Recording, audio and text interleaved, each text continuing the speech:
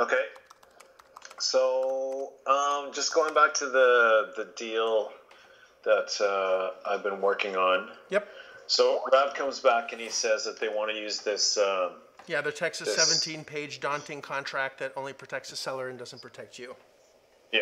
Yeah. So how do we how do we do this? Do we call him or Nope, what's the? no, all you have to say is, Rob, uh, you know, we use a private equity fund and we have, your, your contract is, uh, is great because it, you know, it's, it's what you're familiar with.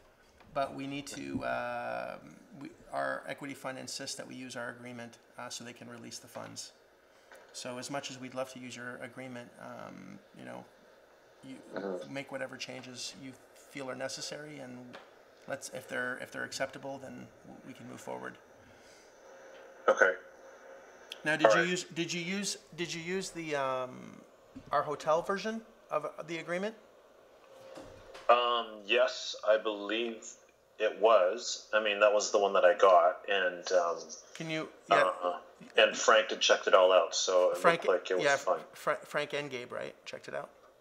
Um, it was originally I was just talking to Frank. Okay, So all right, cool. I don't know if Gabe was involved. And you changed like, uh, hotel, uh, rooms versus like tenants and all that stuff, right? Cause Yep, there's. yeah, correct. Okay, good. All So, right, so you no leases. Yeah, It's yeah, just yeah, uh, very good. yeah, And there's no, uh, we, we get the first month, you know, the whole month of closing revenue and all that shit, cause. Yeah, took that one out. That won't fly in a, in a, Yeah. uh, in, okay, good. All right, so. Okay. Yeah, so basically just said, uh, you know, we, we use a private equity fund and we have to use our agreement for the money to be released. So if your attorney wants to make whatever changes, um, here's the Word file and then we can take it from there. But if the changes are too significant, then we're not gonna be able to buy it.